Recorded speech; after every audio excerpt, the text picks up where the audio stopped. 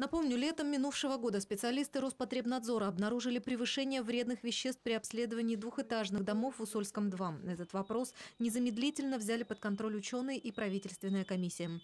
Откуда в воздухе появился формальдегид, специалисты выясняли несколько месяцев. И вот что показали исследования. Ни в одном из строительных материалов превышения вредных веществ нет.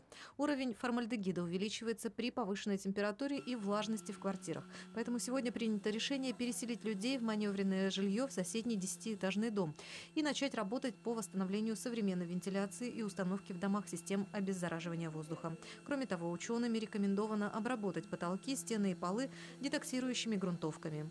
В домах Вологодской серии у нас в настоящее время проживает 53 семьи.